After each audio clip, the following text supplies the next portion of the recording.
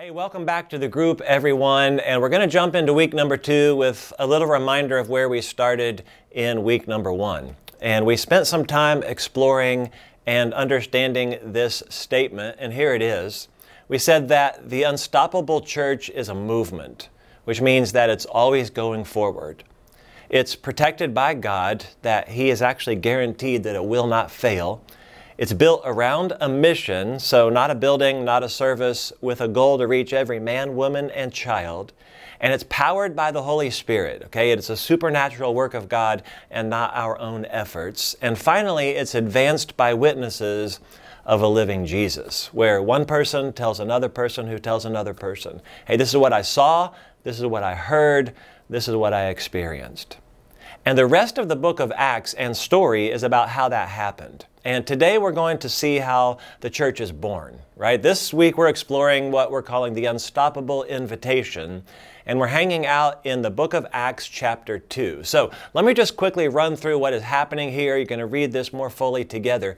But the scene is a really big national party called Pentecost. It's 50 days after another party called Passover, which is the weekend of Jesus' crucifixion and resurrection.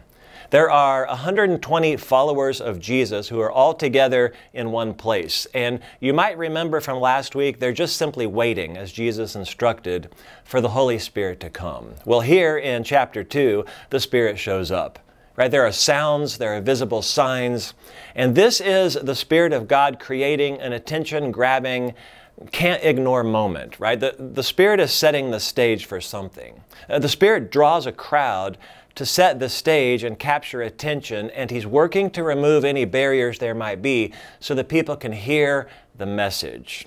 And the barrier for thousands of people at a holiday party like this is that they speak different languages.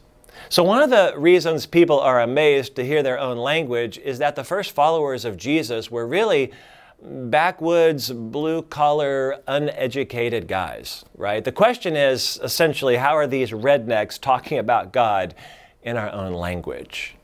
And so Peter decides to step forward. He becomes the official spokesperson for the group, and he's going to give the first, what we might call, sermon in this new church.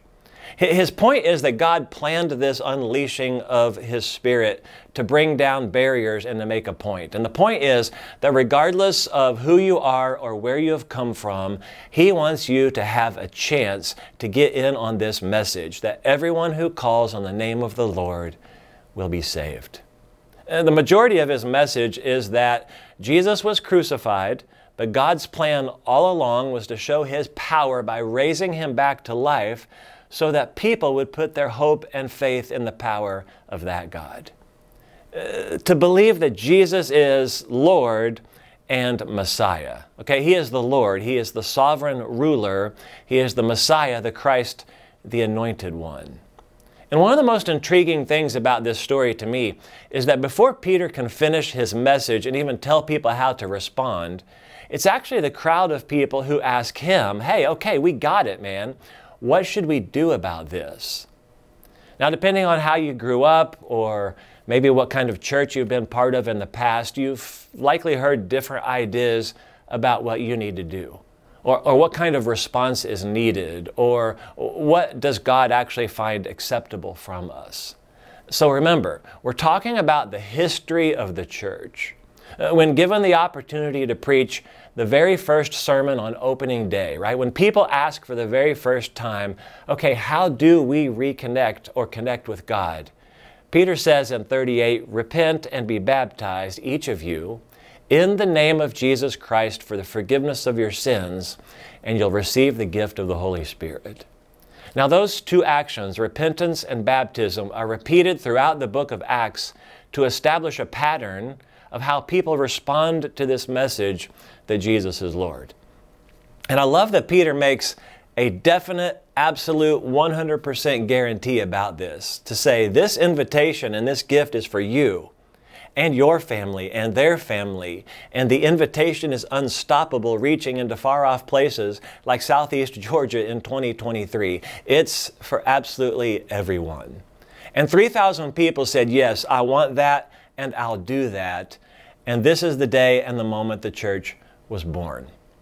The question we have to wrestle with today, and you'll have some time to discuss this, is this one Have you ever demonstrated that Jesus is Lord and Messiah? Not have you ever believed it, not have you ever said words like that, but have you truly demonstrated that Jesus is Lord and Messiah? And if not, what keeps you from doing that right now?